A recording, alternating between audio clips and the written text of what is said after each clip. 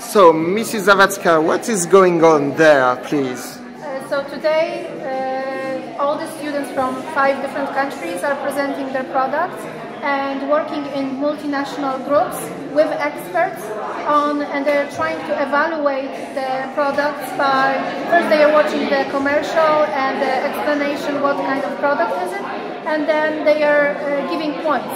And we are, we are trying to choose the best product from each country. Thank you.